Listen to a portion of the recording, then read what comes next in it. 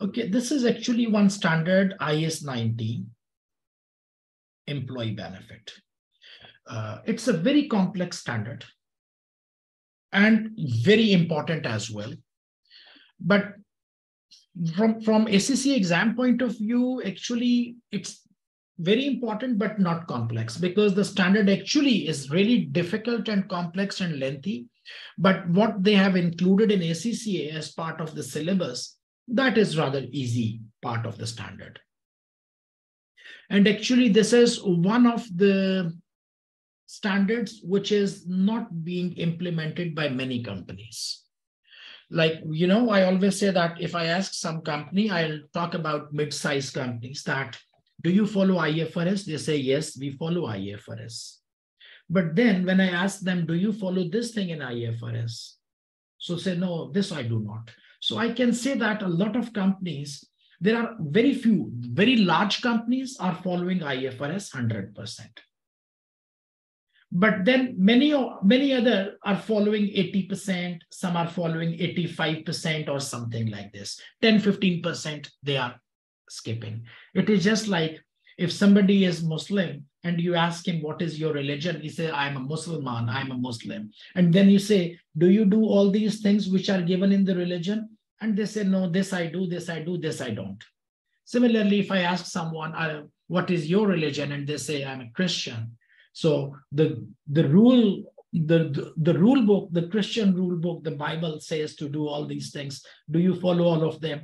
And he says, you know, this one I do, this one I do, but these I don't do. So we all are half Muslims, half Christians, and half IFRS. And this is one of the areas, employee benefit, which is missing with many companies. I'll give you an example. I'll start with an example, and you would realize where I'm coming from. Um, I mean, we all have, uh, when we work in companies, we have employees. And when we have employees, um, we have some vacations and leaves which are pending, you know, unused vacations, unused vacations, and unused vacations or leaves, they are a liability. Okay. Now, if I ask you, go back to your office and work and see in your accounting books, how many of you are recording the leave liability? I'm not saying lease liability. I'm saying the leave liability in your books. Hardly Hardly. A lot of people you will come back and say, you know, we have given vacations and given vacations, but whatever are the unused vacations? Actually, our company do some uh, provisions for them. So some some companies they do, and some com- and, and and and many companies they do not do, but actually they should you should be doing it. But this is one area where many companies they fail. And I said, especially the mid-size entities, they don't calculate Either they do not calculate, or even if they calculate, they probably do not calculate it correctly. Anyways, uh, this standard IAS 19 employee benefit. Uh, it is about the benefits which are given to employees short-term and long-term. Short-term benefits are like salaries, bonuses, medical, whatever you give them. Short-term are those benefits which are given during the year. Short-term benefits are given during the year. And with short-term benefits, there is no complexity. They are straightforward because you pay them during the year. Whatever you have not paid, you record it in the books as your current liability. You debit to the PNL and you credit to the liability and so on. And short-term benefit is not the scope for exam purposes what we discuss in for exam purposes, we talk about the long-term benefits. Long-term benefits, which are most commonly, we call them post-employment benefits. Post-employment benefit, okay? Uh, post-employment benefits could be uh, like pensions, gratuities, or something else. And long-term benefits, they are actually very complicated because these are those benefits which you will start giving employee after post-employment, maybe after 10, 20 years. And the calculation of these benefits, it's really is a complicated issue and which is done by another professionals, which are called actuaries. So actuaries, these are, I mean, actuary or actuaries, these are another group of finance professionals, which is a combination of economics and finance. It's a different qualification, actually. These are not accounting people. These are not finance people. We call them like lawyers, doctors, accountants, actuaries. And they will make these estimates because they need to consider, you know, uh, economy into it, economic conditions, growth rates, demographics, age of the people. For example, one of the post-employment benefit is pension. You tell someone that you would retire at the age of 65, which is a very actually disputed point. Let's suppose it's 62, you would retire at the age of 62. This is what is happening currently in France because they want to increase the age of retirement. So let's suppose you are saying to someone, you will retire at 65 and then you will get monthly pension for the rest of your life. And when we say for the rest of your life, it means that as long as you live. And how much, how, how many years you would live after 65. So sometimes you have, you know, uh, you need to see the average life expectancy. So in some countries, 75 year is the average life. In some countries, 72, maybe in some other countries, 79 and these estimates they keep on changing. And then the you know the economic conditions and the growth in that pensions and etc so it's quite a lot of challenging work. We as accountants are not responsible to calculate those benefits. Our standard IAS 19 is does not teach us how to calculate what we are focusing at is how to record it same goes with ifrs 9 Remember IFRS 9 financial instruments and you say impairment of financial assets or expected credit losses. So the standard does not teach you how to calculate credit losses or the standard does not teach you how to calculate the impairment.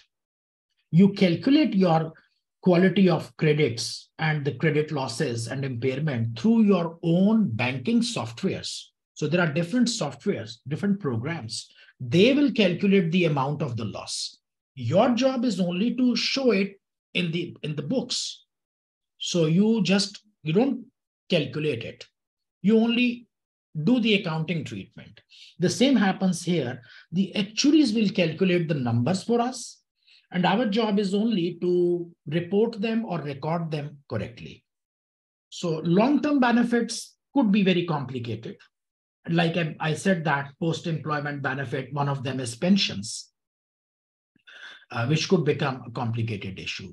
So number one, what I want to say that if I talk about IAS 19, IAS 19 discusses the short-term benefits and the long-term benefits, which are called post-employment benefits. So for us, short term is not the issue. We will be focusing on post employment. And within post employment, there are two types of benefit. We call them defined benefit plan, defined benefit, and we call it defined contribution.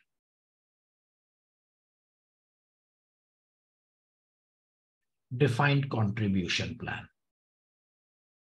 And so we said that we are not interested in short term. We will only talk about post employment, which is long term.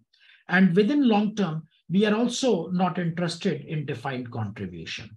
So our focus will only remain on defined benefit plan. So the scope of the standard with respect to your exam or syllabus is restricted only to defined benefit plan. Now, you need to understand what is defined contribution and what is the difference between defined contribution and what is the uh, and defined benefit. So what happens in certain cases? so for post-employment benefits, companies, they actually uh, make some contributions. So what happens that we bring in some employee and we say that if you work for us for the next 20 years, So during the period, these 20 years, we will give you salary, bonus, transportation, medical, children education. These are all, all are short term. But then we also promise the employee that we will give you something once you leave with us, once you leave the company. This part, which is called the post-employment benefit. Now, the question is that what are we going to give them? And how do we give them? So generally what ha happens that contributions are made. Contributions are made by the employer and contributions are made by the employee. So we tell the employee that you give $50 every month and we give $50. So we take out $50 from their salary every month and we company puts $50. So $100 is invested in some pension plan or in some pension fund, in some investment fund, $100 will be invested on behalf of this employee every month for the next 20 years. So this amount is getting accumulated. So every month you put 50, we as employer also contribute 50. $100 goes to a pension fund in your name and end of the year, end of the term, when the 20 years period will finish, you will receive the total investment, whatever it has become at that time. So you will be you will be getting these benefits. So if I say defined contribution, under defined contribution plan, what happens that the contribution is defined, which means you put 50 and we put 50, then you put 50 and then we put 50. And how much are you going to get at the end of the period is unknown. If the pension fund or the investment fund is doing great, is doing good, you will get more money. If that pension fund has not really done very well, you might be getting less money. But whatever will be there, it will be yours. So we are not promising what you will get. We are actually defining the contribution. That we will give $50, you will put $50, and whatever will be the outcome, whether more or less, it will be yours. So the benefit is not defined. You ask me, how much is the benefit? I say benefit is not defined, contribution is defined.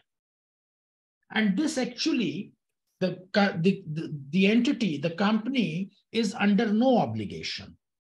And the company does not need to do some specific long accounting adjustments for that because the company is not promising anything. We have taken out $50. We took 50 from your salary. I put 50 on the top and I invest there. My job is done. Now, if it is doing good or bad, that's another scenario. This is called defined contribution plan and defined contribution plan is not the focus of your exam. And we will not be doing any question on that. And we will not be spending any more time on this. What is important for us is defined benefit plan. This is what we actually are, um, the scope of our IAS 19 with reference to exam purposes, defined benefit. In defined benefit, what happens? That we define the benefit that you will get 200K in 21st year or whatever. We have actually defined the benefit as a company. So we ask some employee that you put 50 and we put 50. And then this continues for another 20 years. And when you will in when you will get retired, in post-employment benefits, you will receive 200K. So we are defining the benefit. We have defined the benefit, which means that this becomes our liability. Before I said, I don't know if it is good, if it is bad, if it will be more, if it will be less, it will be yours. I'm not bothered with that as an as organization because so I'm not taking any responsibility or liability of that thing But in defined benefit plan, I agree with my employees that you will get 200K. And what will happen? And based on our initial judgment, we thought that if you put 50, we put 50 for the next 20 years, and the plan grows at 8% or the plan grows at 7%, ultimately it will become 200K. And that's why I gave you the number 200K. So I said, you put 50, I put 50, and I know that economy will grow or the fund will grow at 8% per annum. So in 20 years, ultimately it will be 200. But then what happens? In year one, I give 50 and you give 50. Year two, I give 50, you give 50. But then in year three, what happens? You give 50. But then I see that the market growth has gone down to 6%. And if it is at 6%, $50 are not enough. $50 are not enough to make it 200. So I need to start contributing $90. Now you put 50, I give 90. So my contribution changes because I need to reach the number. I cannot ask you to give more. You will keep on giving 50. We as an organization have to put more money. But then we see that the market is doing very good. So it is possible that next year you give 50 and we give nothing. Because we already have accumulated enough funds to meet the liabilities. So what is happening that these numbers, these numbers are our assets, which we have made the contribution. And this is what we have the liability, which we have to pay. So if we see that assets are already enough to meet the obligations, the liabilities, we stop contributing. But then next year we say, okay, now we need to contribute 30. So this is called defined benefit plan. The focus is on defined benefit plan. In defined benefit plan, what will happen that you have what the terminologies which you definition, the word that uh, the vocabulary which you will be using is called plan liabilities. And you have plan assets. Plan liabilities are those which you have to pay at the end of the period. Plan assets are those contributions which you already have made and we use the present value of plan liability because the liability has to be paid in some time in future. So we use the present value of plan liability and we calculate it by discounting the liability with the available discount rate. And for plan assets, they have the market value because we have invested them in some funds some investment fund. And these investment funds, they have a market value. For that, we use the fair value.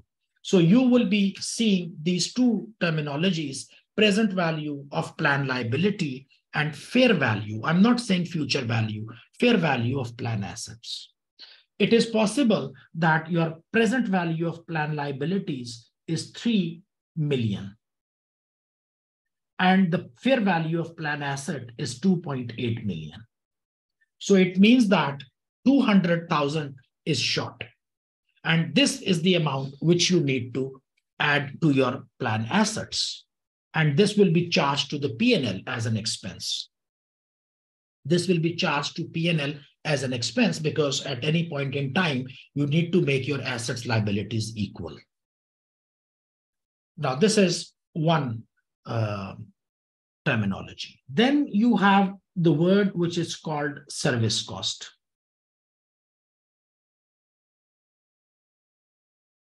Service cost, and you will have a word which is called contributions.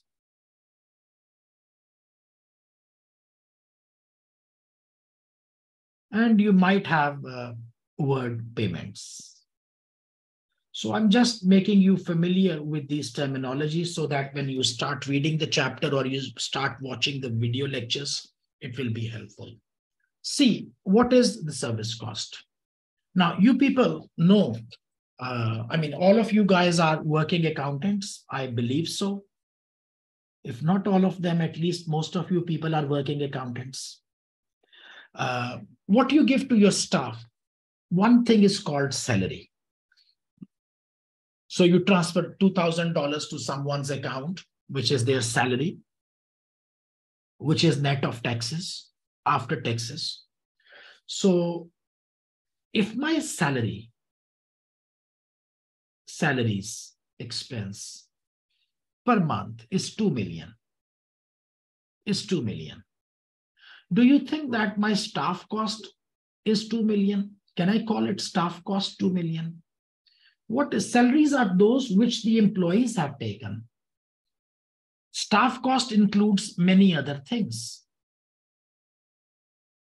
For example, I give you 1000, but actually uh, I paid some social security for you, 300. I paid insurance for you for 200. So these, if you ask me how much is the salary, I will say 1000. You will come and say my salary is 1000. But I would say that for me, your cost is 1500. So my staff cost is 1500. Your salary is only 1000. You say, I, I got $1,000. I say, but I spent 1500 just a very quick question to you people, just a very rough estimate. For any particular company, now, of course, you can't have one fixed number because insurance and social security payments, training cost, medical costs, and others and others are there. If on average, I'm just speaking, I'm not going to a very strict number, on average, if any company has a salaries paid salaries of 2 million what do you think? How much is usually going to pnl under staff cost just a number it, it, it should be more with it should be more than 2 million but how much it should be anyone gives some number please 4 million huh 4 Four. Uh, who said this four million approximately? Who said it? Me, Fahim. Okay. Anyone else, please? Three million. Three million. So, do you have some statistics in your mind? Some formulas or some benchmarks? In many cases, actually, um, in many cases, because we understand that if this is net, it is just like if I ask you that if you have a chicken, a live chicken, a live chicken you weigh and it weighs two kilogram. But when you cut it and you take meat out of that chicken, how much do you get? So those people who are into the poultry business, they would say that a two kilogram chicken net meat, you will get say 1.4 kilogram, 600 grams or 30% is waste. It will go into cleaning of that chicken and the wings and whatever, whatever.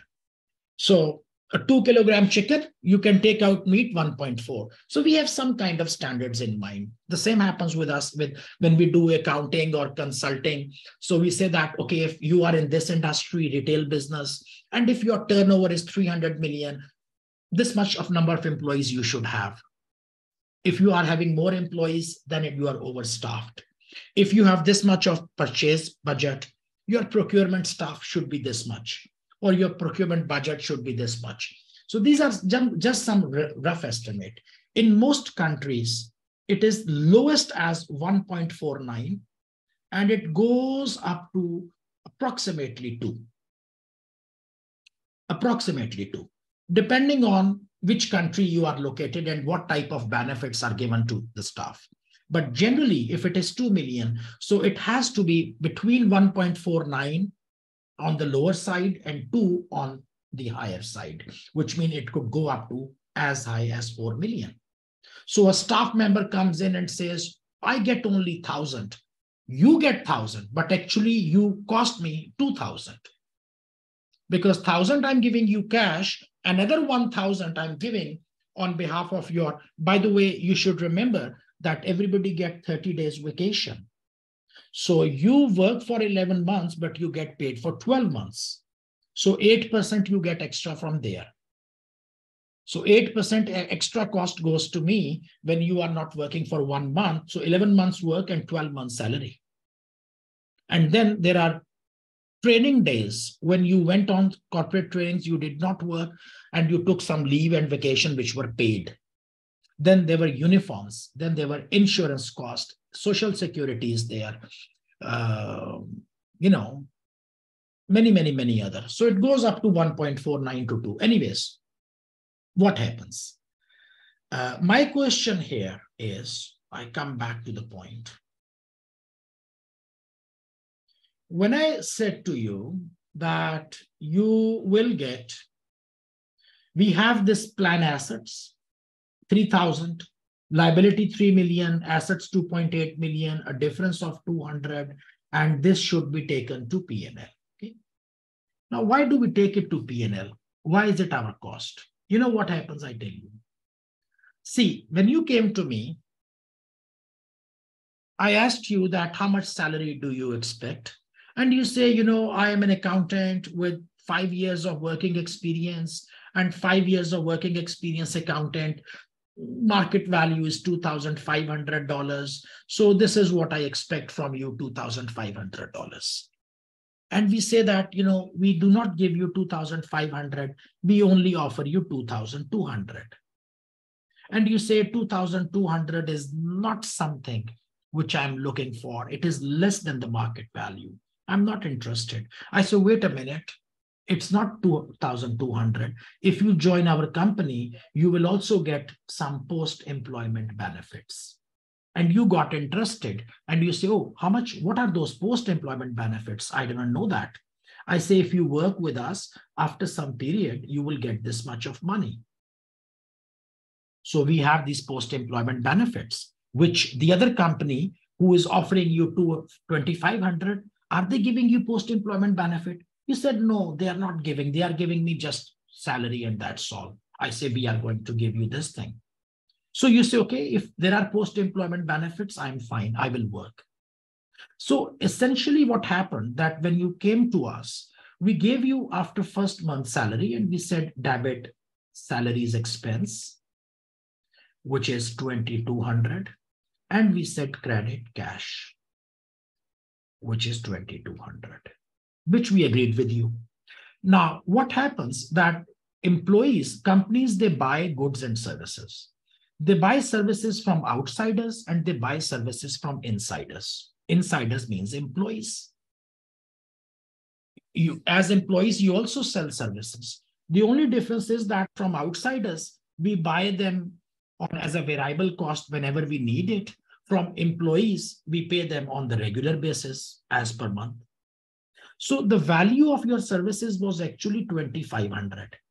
The cost of your services was 2,500 but you agree at 22 because you were looking for some post-employment benefits. So when we take this cost to our income statement as 2200, this is not the true reflection of the cost of services purchased.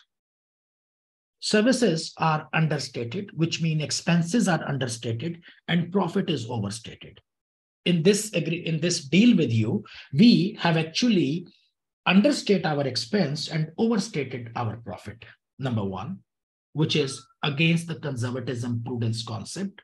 You cannot overstate the profit.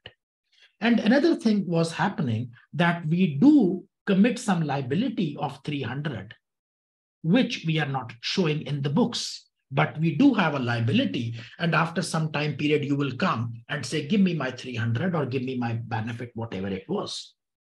So before that, actually, until this IAS 19 standard was not there, many companies before IAS 19, they were only recording this transaction as this part. And there was no provision created for post-employment benefits, and the expenses were shown as 2200. And actually, you know that you do have uh, IFRS you have US GAAP, you have Indian GAAP, Turkish national standards are different, Russian national standards are different, Mexican standards are different. You don't have only two accounting systems in the world. two are the most popular ones, US GAAP and IFRS. But there are more than 25 different types of accounting standards working in different regions. And this stand, this IAS 19 employee benefit is missing in most of the other standards. Not many other countries, they are taking considering it. It is a very specific topic of IFRS uh, IAS 19. It is a very specific topic to the set of uh, international accounting standards. Other standards are ignoring, still ignoring. Even IAS standards were ignoring it before IAS 19 came in. Before IAS 19, even if you were following the international accounting standards, you were treating as 2200. So what we understand that your income statement is your profit is overstated by 300 and your liabilities are understated by 300. So they say that this was actually the staff cost, this 300, which you are not giving, you it should be charged to the staff cost. So I should actually, what I should say, the correct double entry in this situation. The correct double entry in this situation should have been like this. Debit staff salaries not by 2200 actually debit i should not say salaries expense the proper word here is debit staff cost 2500 cash i'm giving you 2200 and credit you know staff cost staff liability, staff cost liabilities, which is 300. So this 300 should be booked in the income in the balance sheet. And in the income statement, you should reflect the true cost of the services received. So the standard it says that as the benefit, as the as the you know the staff they uh, deliver the services, and the company has used those services and the company has benefited those services. Therefore, the cost of those services should be recorded. Even though it has not been paid, or even though it is not payable in the near future. So that staff cost actually, it goes into your non-current liabilities. It goes into your non-current liabilities. So you are not actually uh, the value of services which you are using is not 2200 it is 2500 so uh, because it will overstate your profit. Let's suppose this employee has delivered some job and that job has given a revenue of $5000 he was a so this is a consultant uh, an auditor. He worked on a particular project. He worked on a particular client and that project earned a revenue of 5000 and then i say that my cost of delivering this thing is 2200 so i'm saying that my profit is 2800 from this job which is wrong because the cost of delivering this service was 2500 and the profit should be 2500 if i do not do it overstatement of profit will happen. So the idea behind that is that although you will pay it in the future but the employee becomes entitled as they have delivered the services.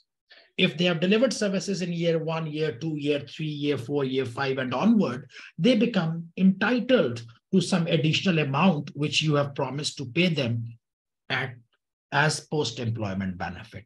And therefore, it should be charged to the PNL as a staff cost, and it should be taken to the other uh, to this to the balance sheet.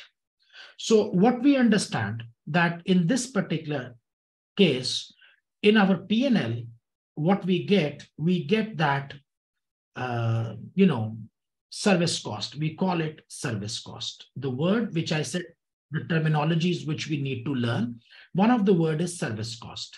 So service cost is that additional 300, if you remember. The 300 which was missing we call it here service cost, the vocabulary which you will use. And that will go to PNL. And this is our expense, okay? But there is one more thing which will happen. So this is one of the cost, and this is the real cost. This is the result of retaining that 300 with me, not paying you full, because I somehow, you know, kind of uh, attract you that I will give you post-employment benefit. And we say, okay, then I will take 2200. And you say, I'll leave this 300 for the later period. Otherwise, you are asking 25. So it should go to PNL. The second thing is, if you remember, I told you that you have present value of plan assets or plan liabilities. You have present value of plan liabilities, which was 2.5 million in the beginning of the year.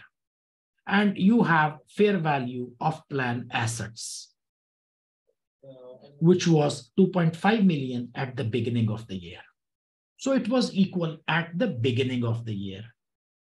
But then what happens that as the end of the year comes in, end of the year comes in, for some reason, because of the market growth rate, changes in the growth of liabilities and assets, for some reason, that this becomes 3,000 and this becomes 2,800. So there is a disparity which has come in. So this 200 now is an additional cost to you because you know that increase in liability, liabilities have increased. If they remain 2800, 2800, I am fine. There is no problem with me. But I know that the measurement of uh, liabilities and assets will bring some disparity into the numbers. And this disparity, this number is also my cost. So I do have, I call them actuarial adjustments. These are because of some actuarial adjustments, actuarial estimates. So I call my actuarial adjustment. How much is that? 200. And what is it? It is my expense. And where I will show it, I will show it in OCI. It will not go to PNL. Now, this is something, an important point to remember because this will happen when in exam. They will give you that opening liabilities are this much, closing liabilities are this much, service cost is this much, and etc. So show the accounting treatment.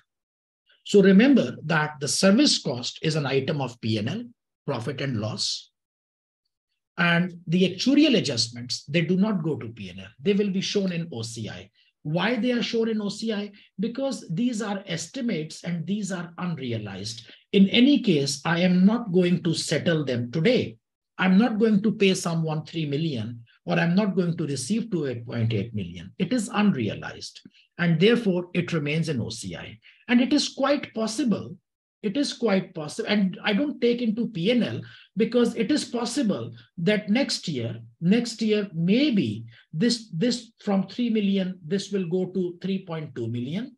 And somehow my assets will grow to 3.5 million. And that becomes a favorable thing. When assets will increase, asset become more than liability, I have a gain. I don't have a loss. So then you don't have actuarial, here I call it actuarial loss. And then in this situation, you will have actuarial gain. So you will again adjust actuarial gain into OCI. So these numbers, you are not giving them out someone. So don't show them in PNL. Keep them in OCI. Sometime liabilities go up. When you have actuarial loss, it goes as a loss in OCI. Sometime you have actuarial gains. So they are moving regularly throughout. Okay, so we understand one word that what is service cost? I explained you that $300 is the service cost and service cost goes to PNL. Then you have you might have another type of adjustment, which is called actuarial gains and losses, which are the difference in the measurement of fair value of assets and present value of liability, and they go to OCI, other comprehensive income. Any question until here? Yes, please. Any question? I've shared this, shared this Excel file. Uh, a very typical exam question. What type of question it comes in exam? They will tell you that you have your opening balance. I'm just creating a very a typical format for exam question. So you have opening balance, opening balance of what? You have opening balance, you call it, you know, fair value of assets. plan assets and you have present value of plan liabilities. Okay. So opening balance of um, so fair value of plan assets, which I said that you might have in the beginning 3000 here and okay 2800 of assets 3000 of liabilities and then these two columns you will build up with which type of things? One is called service cost. One will be called as contributions. Contributions. Then you say interest or growth on liabilities and interest and growth on assets. And then you might have uh,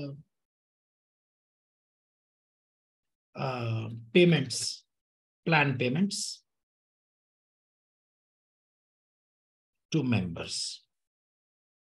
So what will happen? They will tell you that a company Alpha A at the beginning on 1st January 2000 X6, they have opening balance of plan assets 28, 2.8 million.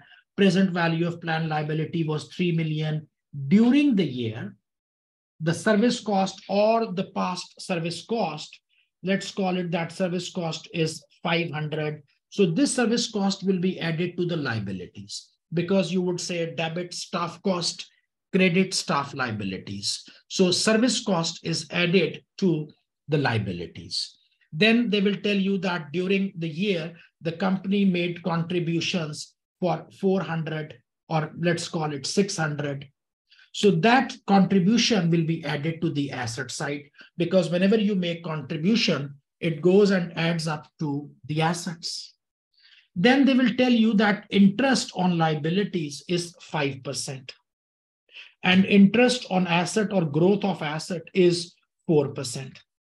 So which means that whatever are your plan liabilities, they are increasing by 5% and the assets are increasing by 4%. And you will always, always, always make 5% growth on the opening balance, which means 3 million into 5% and here which means 2.8 million into 4%. So this number comes in and then says plan payments to members because some of the members they got retired and we paid them. So when you paid them, the liabilities were reduced. At the same time, assets were also reduced. So plan payments are reduced from the both sides. And then you make a total, how much it looks like the as per your balance sheet. So this is the number which is your balance sheet values. These are your now statement of financial position values that according to statement of financial position, you should have this much 3.3162 on assets and 3300 on liabilities. But then it says, but then it says to you that fair value at 31st at 31st of December, whatever is their financial date.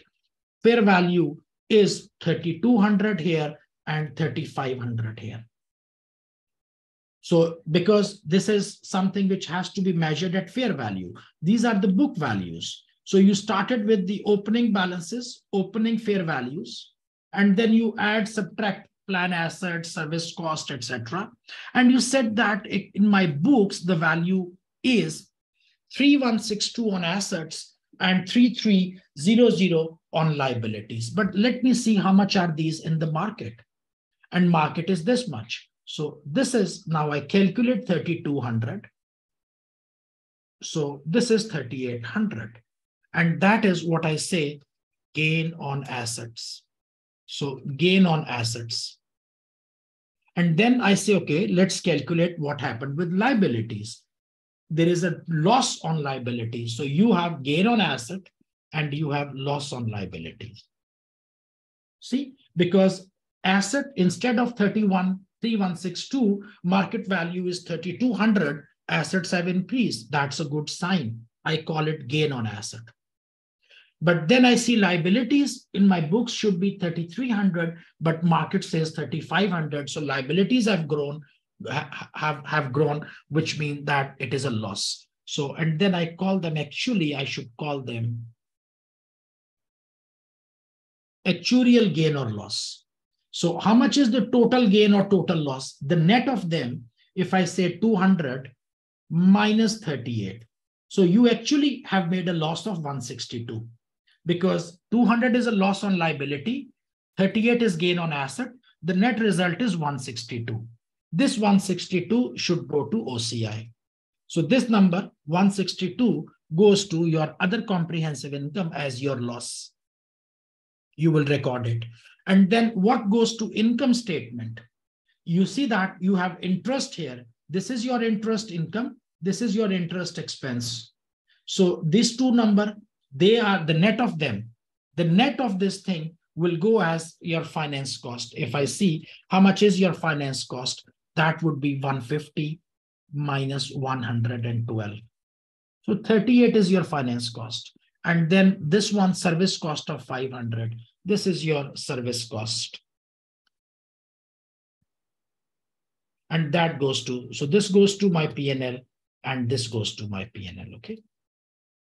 As expense, as expense. So if I ask you that under this given scenario, what goes to PNL, you will say that, how much is that number, service cost? 500, I think, yeah.